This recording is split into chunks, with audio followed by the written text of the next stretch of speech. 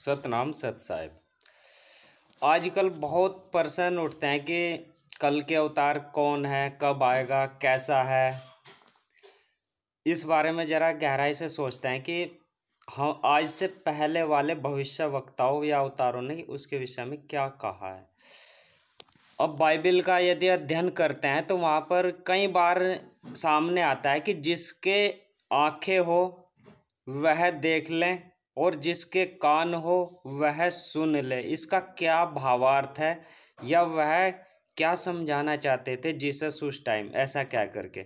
आजकल सभी को, यानी पूरे संसार के व्यक्तियों को एक आशा है कि दसवा अवतार कल की या सेकंड कमिंग जीसस, इमाम मेहंदी, मैत्रेय बौद्ध जो आने वाला है तो इस तरह के पर्सन होते हैं कि कल की अवतार कब आएगा? कि वह कैसे होंगे? और वह किस तरह से अपने कार्य को अंजाम देंगे या किस तरह के कार्य करेंगे? आदि। यह बता पाना मुश्किल है क्योंकि जो अवतार होगा, वह उसी मालिक में मिला हुआ होगा, अर्थात वहाँ सूरत और शब्द का योग होगा। आत्मा और परमात्मा का मिलन वहाँ पर होगा। उसी के समान उसके गुण होंगे। यानी जहाँ पर अनहद नाद या नाद ब्रह्म या शबद धुन प्रकट हो जाती है सहस्रार चक्र में पहुँच करके तो उसके गुण उस मालिक के समान हो जाते हैं। सभी सद्गुणों को अवतरण उसके कार्यों में होगा। यानी जो एक वो पुरुष होगा, महापुरुष होगा, उसके कार्यों में सभी सद्गुणों का अवतरण होगा। संयम, क्षमा, संतोष, विवेक और विनम्रता का। आदि। अब जो अवतार आ रहा है, वह सारे संसार से बुराई को खत्म करके, आडंबर व पाखंडवाद को खत्म करके एक सच्चाई, यानी जो पुरातन सच्चाई है, सनातन सच्चाई है, और हमारे सभी धर्म ग्रंथों में लिखी हुई है, उसी सच्चाई को सभी के सामने प्रकट करेगा। सभी धर्मों के अनुयायियों को बताएगा और अपनी पूजा न करवाकर यानी आजकल क्या हो रहा है कि हम जितने भी अवतार आए हैं, हम सभी उन्हीं अवतारों की पूजा कर रहे हैं और उस एक मालिक को भूल गए हैं जिसने उन अवतारों को भेजा है। तो क्या है कि वह अपनी पूजा न करवाकर उस अदृश्य निराकार मालिक से मिलने की पूरी विधि बताएगा।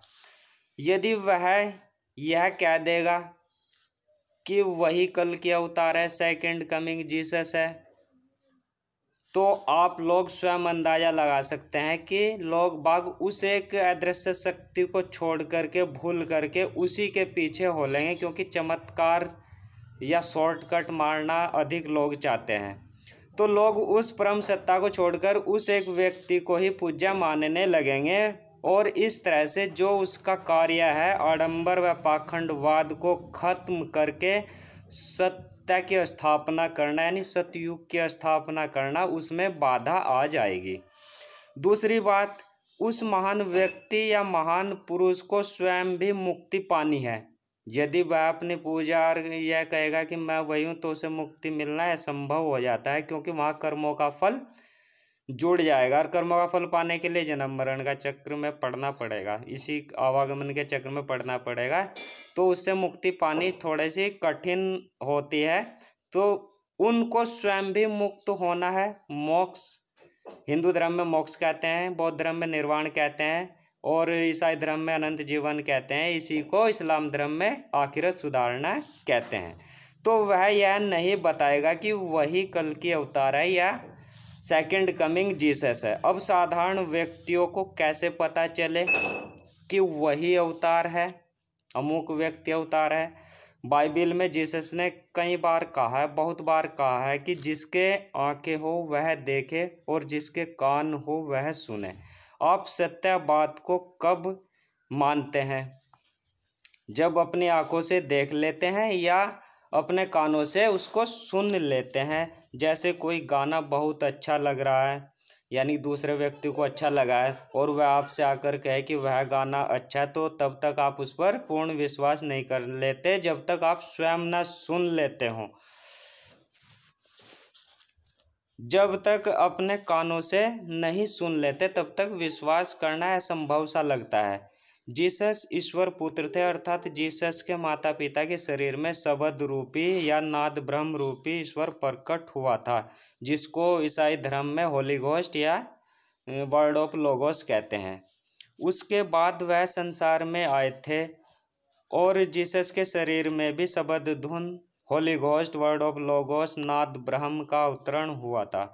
अब वह हर जगह यह नहीं बताना चाहते थे कि मैं अवतार हूँ, मैं पैगंबर हूँ, क्योंकि अवतार को कार्य, अवतार के कार्य उनकी वाणी, भाषा, साधारण मनुष्यों से अलग होती है। यानी उनके, वह स्वयं उस मालिक की रजा में राज़ी रहते हैं और उनके सभी कार्य निष्काम भाव से होते हैं और प्रेम पूर्ण उनका व्यवहार व भाषा होती है।